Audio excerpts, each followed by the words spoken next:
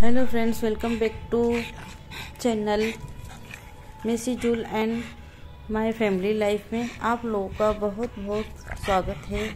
यदि आपको मेसी और जूल के वीडियोस पसंद आते हैं तो आप लाइक ज़रूर करें और यदि आप नए हैं, आपने चैनल को अभी तक सब्सक्राइब नहीं किया आप पहली बार आए हैं तो आप चैनल को भी ज़रूर सब्सक्राइब करके जाएँ।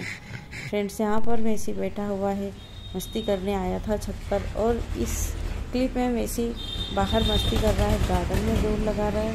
ये देखिए यहाँ से वहाँ, और ये बाहर आ जाता है तो बड़ी मुश्किल से जाता है। इसको मैं बिस्किट निकाल कर दिखाती हूँ, तब जाके ये बिस्किट के लालच में अंदर आता है।